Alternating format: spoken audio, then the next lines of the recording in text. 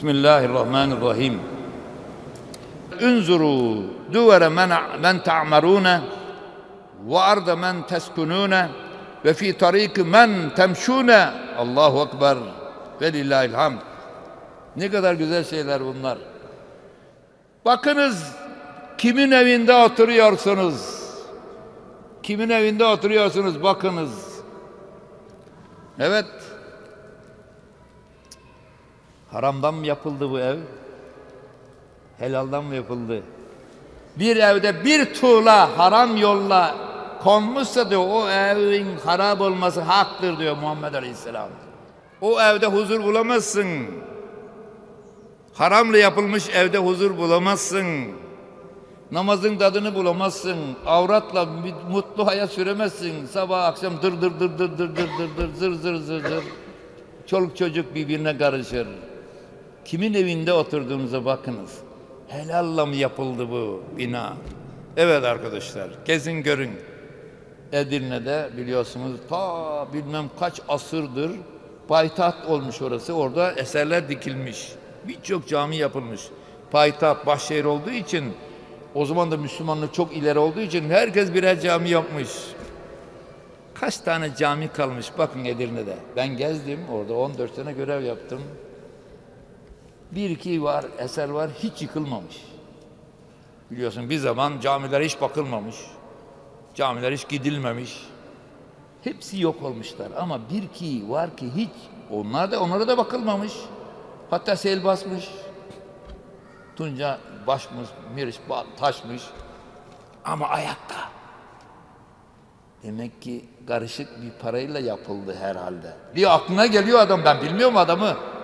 O devirde yoktum ama niye bu yıkılmamış ya? O öteki yıkılmış. E, ne güzel söylüyor bak. Haramla mı yapıldı oturduğunuz ev, helalla mı yapıldı? Ona bakınız. Oturduğunuz evlere bakınız. İhlaslı mı değil mi? Ve arda men teskunune. Nerede oturuyorsunuz?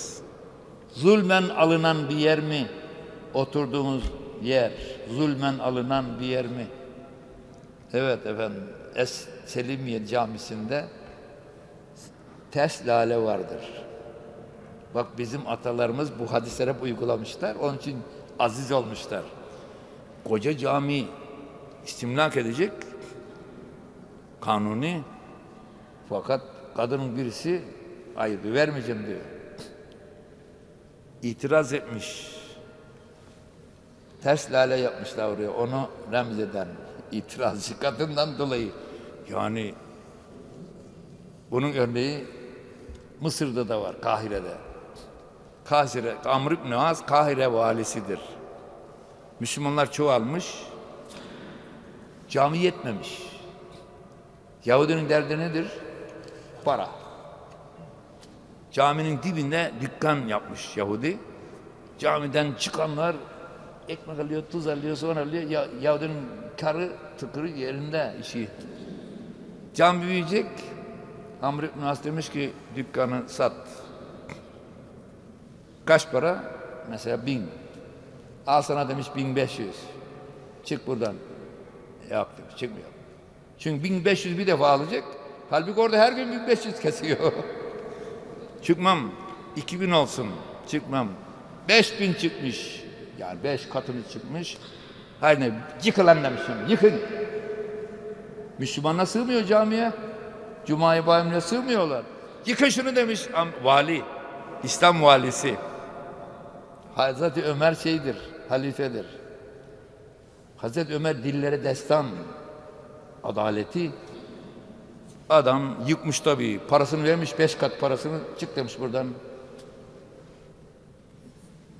Ömer'in adaletini duyduğu için Yahudi demiş, yıktırmayacak illa oradan çıkmayacak. Çünkü muazzam alt, altın yumurtlayan şey. Gelmiş Medine'ye, sormuş halifeniz nerede? Demişler o mescittedir. Gitmiş, mescit böyle halılı malılı değil. tu, kum kum. Ömer demirinde. Peygamber de kumun üstünde namaz kıldı.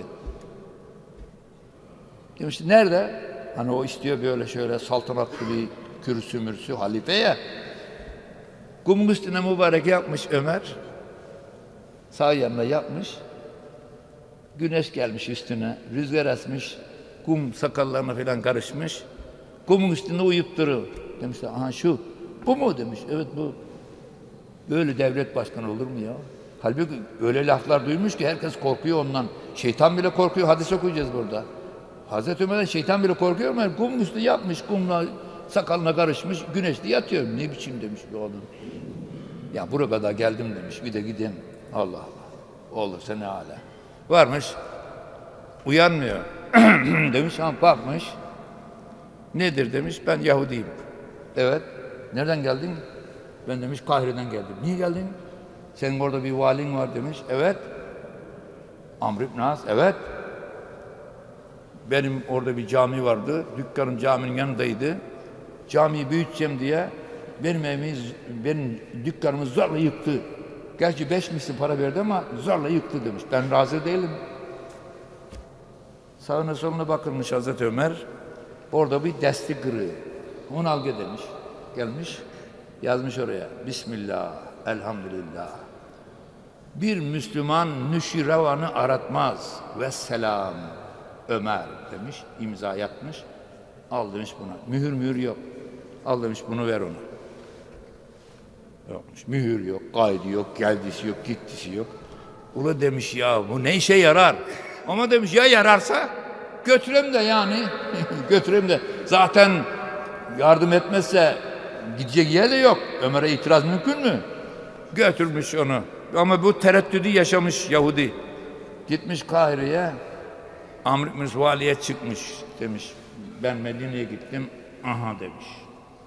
Bunu yazdı Ömer. Hemen Amr ibn As adam ayağına kapanmış. Vali, Yahudinin ayağına.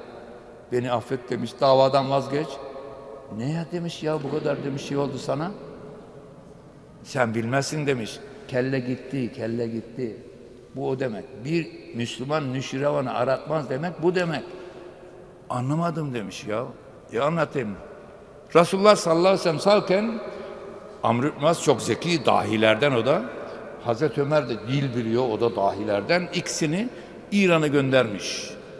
İran Kisra döneminde Müslümanlıktan evvelki dönem fetholunmadan oraya göndermiş ki istihbarat toplayacaklar. Müslüman devletine ne düşünüyorlar? Taarruz falan var mı yok mu? İstihbarat var yani İslam'da. Yani zulüm için değil, zulmü önlemek için var. Var arkadaş, sünnet. Onları da istihbarat, siz ona MIT mi diyoruz? MIT ajanı göndermiş işte onu ikisini. Gitmişler, tabii bu adamların hayatı tehlikede yakalanırlarsa şöyle iş görecekler. Uçar bir Arap atı almışlar. Uçar cinsinden Arap atı safkan. İki kişi biniyor ona. At öyle güçlü uçuyor at. Yani sıkışırlarsa kaçacaklar. Orada paraları var. Tüccar kılığında gitmişler İran'a.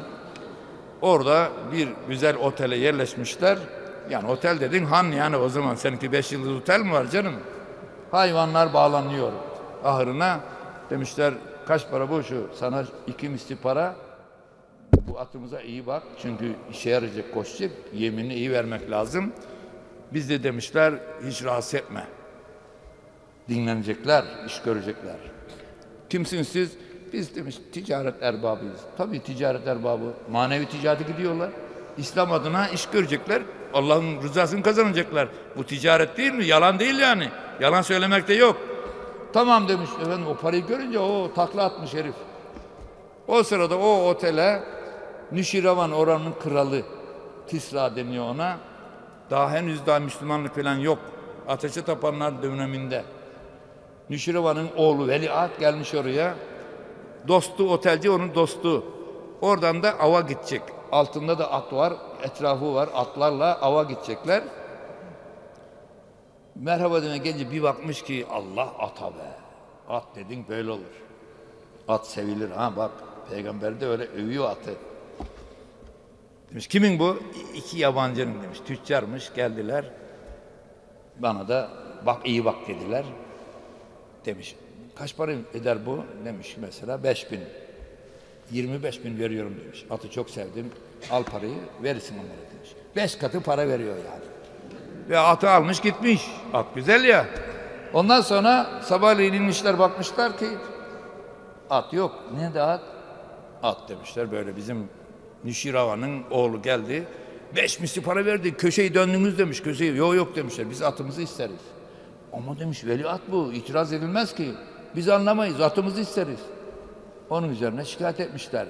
Zaten onunla konuşmak istiyorlar. Nasıl adam fikri zikri ne? İkisi de kurnaz insanlar. Diyalog sağlanmış böylece şikayet dolayısıyla kimse şüphelenmiyor. Adamın fikrini zikrini şikayet etmişler. Demiş rica ediyorum size benim misafirim olun demiş. Şu güne kadar kalın burada. Rica ediyorum diyor. Ondan zaten derdi kalmak orada. Hem emellerine ulaşıyorlar. Kalmışlar. Sonra gidecekleri gün tembih etmiş. O kaldığı yere. Bunların demiş birisini şehirden çıkarken şu kapı orada ben de gördüm. Eski devirde şehri korumak için surlar yapılıyordu. Ben de gittim gördüm sur var o şehrin kenarında. Şu kapıdan çıkarın, öteki arkadaşını da şu kapıdan çıkarın. Ayrı kapılardan. Emredersin demişler krala. Artık atlarını bulmuşlar, dönüyorlar. Zaten öğrendiler. Saraya kadar çıktılar. Dönerlerken bir bakmış, sabahleyin böyle böyle söyledi. E ol tamam. Çıkış yerler farklı. Şurada buluşalım. Onu da kararlaştıktan sonra bir bakmış birimi yine bir kelle var, insan kellesi. Kanı damlıyor daha. Öteki de bir bakmış yeni bir insan cesedi var, kanı damlıyor daha. Hemen daha bir dakika, iki dakika evvel kesilmiş herif. Demişler, bu ne? Bu demişler, hani senin, sizin atınızı aldı ya. Evet, bu Nüşirava'nın oğlu bu. Adaletsizlik yaptığı için oğlunun kellesini aldı. Nüşiravan size göstermek için de böyle yaptı, bizi tembih etti. Askerler yani. Hazreti Ömer bunu hatırlıyor. İkisi orada ya. Bir Müslüman nüşiravanı aratmaz. Cami yapıcı olsan bile adamın rızası yoksa herifi yıktıramazsın evini. Gönül rızası vermesi lazım. Vermeyeceğim dediğine göre yıktıramazsın. Adaletsizlik yaptın, kelle gidecek demek bu. Öyle mi demiş? Yani sen şu mühürsüz, imzasız şeye mi inandın? Evet demiş. Bizde öyledir. Eşhedü en la ilahe illallah ve eşhedü enne Muhammeden Resulullah demiş Yahudi. Müslümanlık buysa demiş ben Müslüman oldum. Evet, İslam'da adalet bu arkadaş. Adalet. Evet, şimdi nerede oturdu? Bak adalete bakın. Dillere destan Nüşiravan. Nerede oturdun? Şimdi namaz her yerde kılınır mı arkadaş? Kılınmaz. Yolda giderken namaz vakti geçmez. Namaz geçmez. Yolda giderken namaz kılacaksınız. Adam yazmış. Kimse giremez. Sokmayacak ya mülküdür. Bir şeyde Amerika'da evlerin bahçelerinde avlu yoktur. Ama lahu var. Private. Özel mülktür. Girilmez yani. Girersen vurur herif seni. Kanunda sormuyor. Avlıyor ama herifin her evde silah var. Serbest. Girersen herif mülküne vurur bahçesine. Vurur seni. Private diye asmış levhayı. İslam'da da aynı böyledir arkadaş. Yolda gidiyorsun namaz kılacaksın. Yolun ortasında namaz kılamazsın. Mellun olursun. Niye? Gidip gelecek herif. Kenarda kıl. Ya burada gelip gideceğim beni uykusuz olur, şaşkın olur, beceriksiz olur, dikkatsiz olur, beni ezer diye herifin tarlasına giremezsin. Evet, izin vermezse giremezsin. Orada namaz kılmak bile caiz değil. Mekruhtur. Doğru değildir. İzin mülküdür adamın ya. Evet, zulmen alınmış bir arsada ev yapsanız huzur bulamazsınız. Ettiğiniz zikrin tadını bulamazsınız. Namazın tadını bulamazsınız. Zulmen alınmış. Onu söylüyor. Nerede oturduğunu dikkat et. Zulümden mi alındı? Bu arsa zulmen mi? Zorla mı alındı? Herifi riyalık katili öldürüyorlar veya yakıyorlar, yıkıyorlar, dalavere çeviriyorlar. Ondan sonra villalar yapıyorlar. Sen de oh çok güzel yermiş. Aslı zulüm mü? Ona dikkat et diyor. Huzur bulamazsın. ibadetin tadını alamazsın. Nerede oturduğuna dikkat et. Ve ardı men teskunune. Oturduğun araziye dikkat et. Zalimlerin yeri mi? Evet, bunların üzerinde hep duruyoruz. Benim lanetler kitabım var. İslam'da lanetler. 17 sene topladım. Evet. Lanetli kimselerin, zalimlerin, zalimler lanetlidir. Zalimlerin, zalim kavimlerin, homoseksüeller lanetlidir. Memleketimizde onlardan da var. Onla- yaşadığı yerler var biliyorsunuz. Evet. Onların arazisine bizim insanımız ne kadar güzel insanmış eskiden. Dikkat edin şehirlere. Mesela ben Denizliliyim. Pamukkale var. Meşhur. Pamukkale'de değil köy. 4 kilometre açığında. Halbuki Pamukkale'de güzel binalar var. Güzel sıcak su var. Güzel yerleşecek yer var. Ama benim atam Müslüman. Zalimlerin yurdunda oturursanız o lanet size de gelir. Hadis var. Efendimiz de diyor ki oturduğumuz yere dikkat edin. Zulmen mi alınmış bir yer? Zalimlerin yeri mi? Lanet mi yağıyor? Dikkat edin. Onun için benim atam 4 kilometre açığına kurmuş şehri. Köyler 4 açık, 5 kilometre açığındadır. Pamukkale'de değildir. Manisa'da da var. Karun'un hazineleri deniyor işte. Karun Kur'an'da yerin dibine geçmiş hala gidiyor. İnne Karun'a diye başlayan ayet. Zalim bir herif. Kur'an'da tescilli. Onun yerine gidip ev yapma. Otelse kalma. Dikkat et oturduğun yere. İkamet ettiğin yere dikkat et. Çünkü kıyamete kadar o zalim yere lanet yığar. Lanet yığar. Onun kenarına git. Açığına git. Gitmiş atamız bunu yapmış. Ben hususi bu kitap yazdığım için dolaştım yani. Baktım hep bizim atalarımız Anadolu'yu fetheden kimseler ne mübarek insanlarmış. Müslümanlığı dört elde sarılmışlar, yaşamışlar. Hep ilime dayalı bir Müslümanlık var. Benim köyümde bin senelik medrese var. Gelmiş adam, yatan baba, hemen medrese kurmuş. İbadet ilimsiz olmaz. Sofuluk ilimsiz olmaz. Biz buymuşuz. Peygamberin dediğiymişiz. Kimin, kimden aldın ettiğine dikkat et diyor ya. Hemen medrese kurmuş. Bir gavur gitmiş oraya. Paul Lucas diye. Öyle bir medrese var ki diyor. 325 tane görevlisi var. Görevli dediği talebeler. o öyle diyor. Görevli zannediyor. Neden geldin demediler diyor. Oturdular da diyor. Kazanlarına yemek pişiyor. Bana sen gavursun demediler. Günlerce ağırladılar. Ne zaman gideceksin de demediler diyor. Öyle misafirperver de ilimden söz ediyor. İlme dayalı ibadet. Biz uymuşuz. Şimdi de bırak hadisi diyor herif. Onu anlamamış diyor. Nereden nereye gelmişiz görüyor musunuz? Bu saygı bakın. Bu hadisler, bu söylediğim hadis. Benim atam hadise uymuş. Pamukkale'nin 5 kilometre açığını kurmuş şehri. Lanet yağmasın tepeme diye. Siz de oralara giderseniz, siz de onu okuyorum hadisi burada yazıyor. İbret için gideceksiniz. Oh burada sıcak su varmış. Otellerde kalıveren bir hafta. Oraya lanet yiyor arkadaş. Azıcık kenardaki otele git. Çünkü orada pis milletler var. Homoseksüeller yaşamış. Homoseksüellerin olduğu. Ondan için batmış zaten. Kıyamete kadar bela yağıyor oraya. Hocam ya ama şeyler uyduruyoruz. Uydurmuyorum yahu. Efendimiz sallallahu aleyhi ve sellem Tebük'e gidiyor. 30 bin askerle. Hadise inanıyorum ben. Tebük'e gidiyor. 30 bin kişi koca Bizans ordusuna çıkıyor. Çöller aşıyor. Salih aleyhisselam kavmi biliyorsun melun millet battı ya. Allah boğdu onları ya. Onların yurduna varmışlar. Burası neresi demiş? Şurası. Derhal demiş buradan çıkalım. Atını tepmiş. Halbuki ata eziyet etmen diyor. Bineğinize eziyet etmen.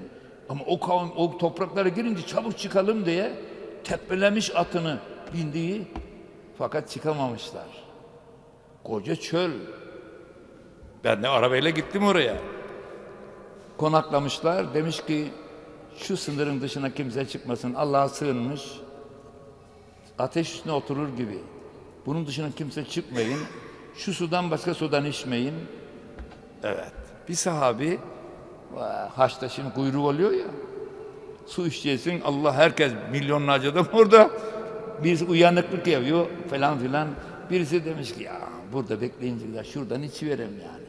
Peygamberin yasak ettiği sudan o lanetlerin zamanından kalan su içmiş. Efendimiz dua etmese gidiyor herif zor kurtuluyor. Öyle çırpınıyor ki öyle hastalığa yakalanmış ki. Lanetli hala yağıyor oraya. Efendimizin sözünü tutmayınca o dua etmiş hadi bakalım bir daha yapmayın. Dikkat edin lanetli memleketten hızlı geçin diyor Peygamberimiz. Evet bir melunun başına neler geldi bakarak ibret için git ama şimdi kazı yapıyorlar filan. Tamam ibret için git. Bak neymiş adam ne hale gelmiş yok olmuş. Orada eğleşme. Kaldığın yere dikkat et. Zulüm mü yağıyor, lanet mi yağıyor dikkat et. Atalarımız buna dikkat etmiş efendim. Dikkat etmiş. Ve fi tariki men temşûne kimin yolunda yürüdüğüne de dikkat et. Arkadaş. Evet. Meşru mu değil mi? Evet. Dikkat et buna. Dikkat et buna. Evet. Şimdi kimin yolunda yürüdüğüne dikkat et. Ben siyasetçi değilim sakın yanlış anlamayın. Ben hadisler anlatmaya çalışıyorum. Sizin anlatabilecek seviyeye getirmeye çalışıyorum. Ned'u külle ünasin bi imamihim. Yolculuğa çıktınız mı sünnet bu. İki kişiyseniz biriniz lider olacak. Kalalım mı gidelim mi kavga yok. O lider danışacak son sezonum olacak. Kavga yok İslam'da. Anarşi çok kötü. Bir grup haline gidiyorsunuz, yola gidiyorsunuz, biriniz imam olacak yani. Namaz kılıyoruz, ahiret yolcusuyuz, birimiz imam oluyor. Değil mi? Yalnız yalnız kılmak çok yanlış. Cemaat olacaksınız, bereketli, 27 kat sevabı var. Birisi lider.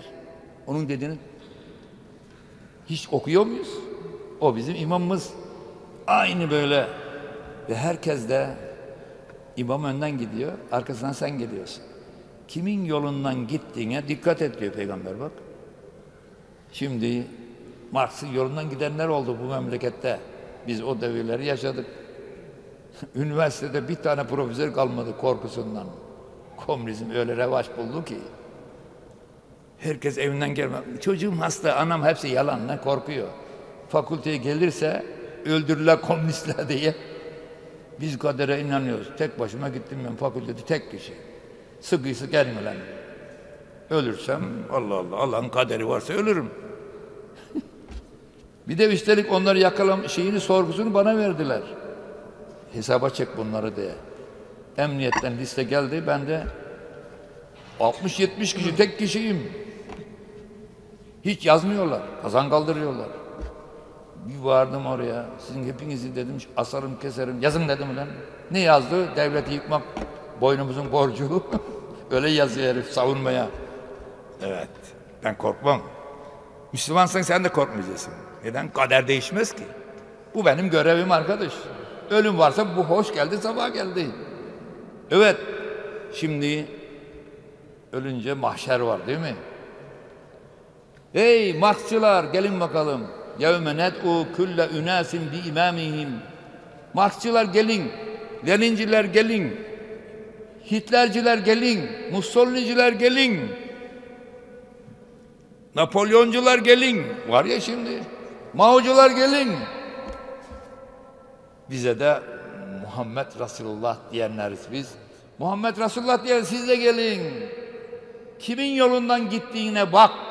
Herkes önden giden kimin arkada takıldıysa onunla çağrılacak ayet bu. Efendimiz burada diyor ki kimin yolundan yürüdüğüne dikkat et. Kimin peşinden gittiğine, onun yolundan gittiğine dikkat et. Dikkat et. E, hocam çok sıkı. Yok canım bu insan önüne düşeni hoca imam seçtiğine göre o ne dediyse kabul, severek. Değil mi? Bir de öğrenmek maksadıyla gitmek var. Ha, öğrenmek maksadıyla komünizmin içine girersin. Hitlercilerin içine girersin, faşistlerin içine girersin. öğrenmek maksadıyla. Bu var ama sevemezsin, kalben bağlanamazsın. Bu maksatla giremezsin. Deme dediğimiz bu yani. Sevgiyle bağlanıyorsun, öldürüm yoluna diyorsun. Ölmüyorlar mı canım Mao yoluna? Hitler'in yoluna ölmediler mi? Evet. Efendimiz ne güzel söylemiş görüyor musunuz? Müslüman öğrenir ama seveci adam Müslümandır. Mümindir. Hem de böyle güzel adamdır. Bildiğini yaşayan, sahih inançlı, karakteri sağlam bir Müslümandır. Ve çağırdıklarıma eyvallah. Ben Ebu Hanife'nin peşinden gidiyorum. İmamım o. Bile bile gidiyorum. Seçmişim onu. Sen de ona göre diyor. Dikkat et. Kimin yolundan gittiğine dikkat et. Evet. Efendimizin prensipleri bunlar. Efendimiz ne diyor bak. Ed dünya dar men la dara leh. Dünya hiç evi olmayanın evidir. Ve mal men la male lehu. Dünya malı da ahirette malı olmayanındır. Nasıl oğlum? Hocam zengin olmayalım mı? Yok canım. Hazreti Osman zengindi. Ne kadar dua etti Peygamberimiz? Koca orduyu bin dinar koyu vermiş önüne. Bir sürü deve vermiş, yiyecek vermiş, elbise vermiş. Ne kadar dua etti. Gelmiş geçmişine bedel ya Osman dedi. Zengin olmasa nereden verecekti? Dünyaya tapan adam, paraya tapan adamın ahirette parası olmaz. Dünyada kalır o. Değil mi? Ne verirsen seninle o gider değil mi? Kalanlar mirasıyla bölüşüyor. Ama güzel bak bu adam bunu yaptırmış. Cevat Hoca bak bir saattir gırtlak kurtuyor. Hep ona yazıyorlar. Onun camisinde konuşuyorum bak. Sen de böyle bir eser diktin, paralar harcadın. Hep yazarlar. O gider seninle. Ama hiç yok muydu zengin o zaman başka yok mu? Dikili ağacı yok herifin. Hiçbir hayrı yok memlekette. Ne bıraktı? Kefenini aldı gitti. Mirasçıları oho. Vur patlasın, çal oynasın. Gerile gerile yiyorlar arkasından. Ne güzel söylüyor bak. Dünyaya taparsanız öbür tarafta evinizde yok, malınız da yok. Dünyayı ahirete binek vesile yaparsanız dünyada da zenginsiniz, ahirette de zenginsiniz. Yalnız hesabı var tabii. Hiç malı olmayan adam bir de dürüstse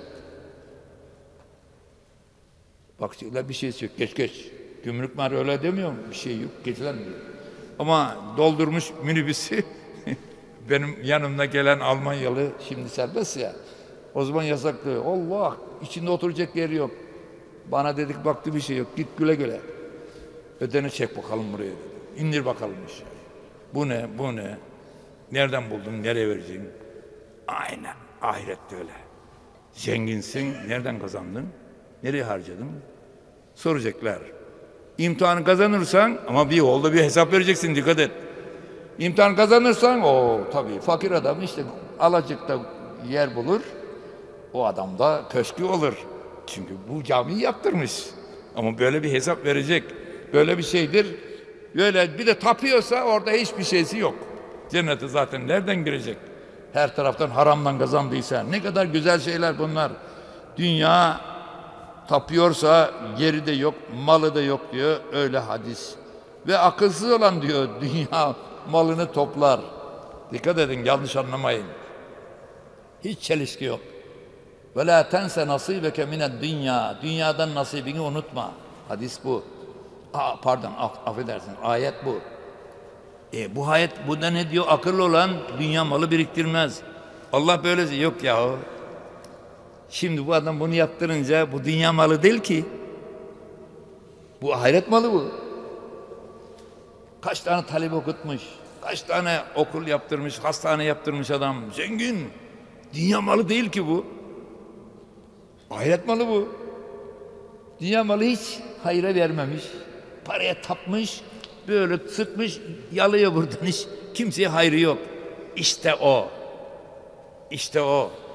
Bize Fransızca öğretirken e, cimri hikayesi vardır bir. Adam ölürken altınlarım altınlarım diye diye ölmüş. Öyleler için konuşuyoruz. Dünya zengini olacaksın, zekat vereceksin. Zengin olacaksın, hacca gideceksin. Zengin olacaksın, cami yapacaksın, hastane yapacaksın, okul yapacaksın. Zengin olacaksın, fabrika kuracaksın. Vatandaş hırsızlık yapmasın, gelsin, karnı doyursun, namusumla yaşasın diye sebep olacaksın. Benim bu vaazım gibi o da aynı. Aynı iş değişmez. Bin adam karnı doyuruyor fabrikasında.